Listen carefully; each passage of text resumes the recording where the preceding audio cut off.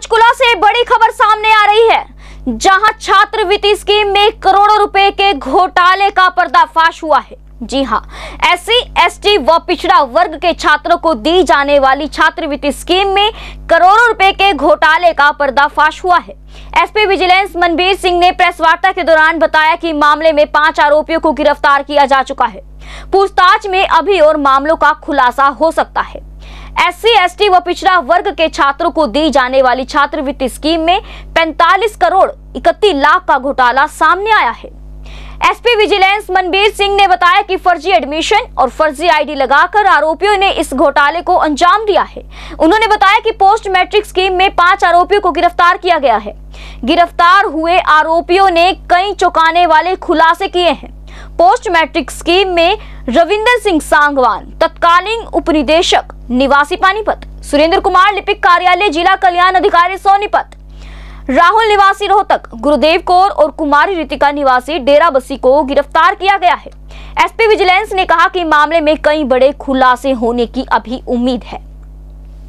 उन्होंने बताया कि पंचकुला, हिसार और रोहतक के विजिलेंस थानों में इनके खिलाफ मामले दर्ज किए गए हैं। घोटाले में पंचकुला से नवासी लाख इकसठ हज़ार तीन सौ बहत्तर रूपए और रोहतक से तेईस करोड़ छह लाख बानवे हज़ार दो सौ तिहत्तर और हिसार से इक्कीस करोड़ पैंतीस हज़ार अट्ठाईस हज़ार सात सौ तिरपन, जो कि कुल मिलाकर पैंतालीस करोड़ इकतीस लाख बयासी हज़ार तीन सौ अट्ठानवे का घोटाला हुआ है। अब इस घोटाले को लेकर राजनीति भी शुरू हो गई है। इसी बीच नेता प्रतिपक्ष भूपेंद्र सिंह हुड्डा का बड़ा बयान सामने आया है। दरअसल एससी, एसटी और पिछड़ा वर्ग के छात्रों की छात्रवृत्ति स्कीम में घोटाले पर हुड्डा ने कहा कि छात्रवृत्ति स्कीम का घोटाला बहुत बड़ा हो सकता है। इस घोटाले का मुद्दा हमने भी कई बार उठाया था। आप भी सुनिए भूपेंद्र सिंह हुड्डा ने घोटाले को लेकर क्या कहा। ये तो नहीं, ये तो बहुत कई दिनों से उठा हुआ है। हमने भी कई बार मांग उठाई है, इसकी भी पूरी जाँच की जाए। अभी तो कुछ जिलों का आया है, अभी तो कई जिलों का बाकी है।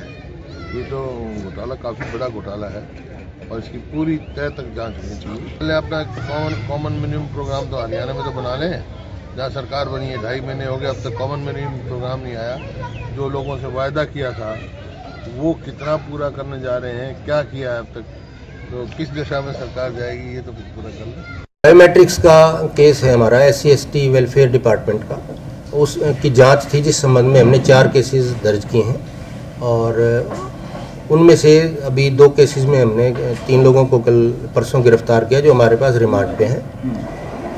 एक राहुल है रोहतक से और एक गुरुदेव को और एक उनकी बेटी है ऋतिक। तीन लोगों को हमने गिरफ़्तार किया। कहाँ का मामला है? एक केस यमुनानगर का है एक रोहतक का केस दोनों में। क्या करते थे? थोड़ा ब्रीफ करके बताइए मतलब। जी जी। तो इसमें कुछ जो स्टूडेंट्स हैं उनके आधार कार्ड चेंज करके या फेक स्टूडेंट्स खड़े करके गवर्नमेंट की जो स्कॉलरशिप की स्कीम है या उस स्कीम का मिसयूज़ किया गया है और उसमें गबन किया कितने लेवल तक मतलब कितना अमाउंट इसके अंदर इन्वॉल्व है? कितने लोग इन्वॉल्व हैं इसके अंदर? जी।